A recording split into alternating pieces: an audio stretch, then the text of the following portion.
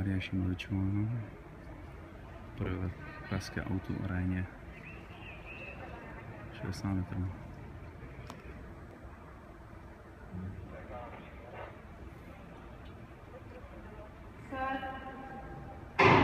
A pojď, Majka, pojď, pojď, dobře! Pojď, Majka, pojď ještě, pojď, pojď, pojď, pojď, dobře, pojď! Pojď ještě, tady dobře!